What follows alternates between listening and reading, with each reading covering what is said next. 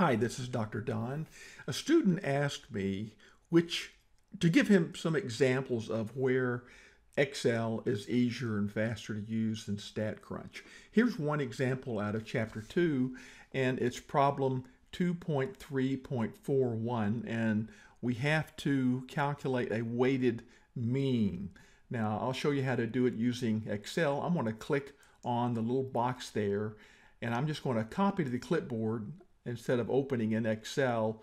And then I'm going to copy and then close that.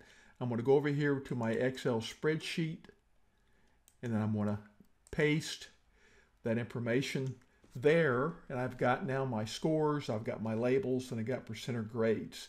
To find the weighted mean, you need to get the weighted average of each of these.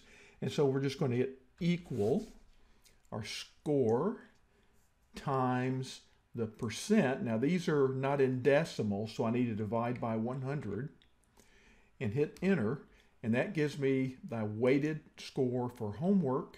Now I'm going to drag this down to get the rest of the components of the final grade. And then all I need to do is get the sum of that equal SUM, call it my sum function, and then highlight those, hit enter, and that gives me my weighted mean average over here of 92.85. So let me show you something, what I like to do to set up my notebook. I'm going to use another function, equal F-O-R-M. I'll start typing formula, and I'm going to click on formula text. And the argument is just the cell that I want to reference. I'm going to hit enter, and that gives me the formula that's in that cell. Now I'm going to drag it down so I can see the formulas in all those cells. So that gives me a good reference for later on. Now I want to show you one reason why I say make your or create your notebook in an Excel uh, workbooks.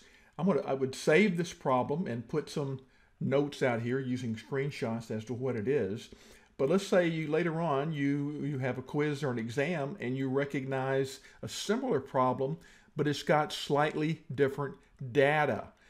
I'm going to go over here again, click on copy to the clipboard, highlight that in blue, right click to copy it, close that.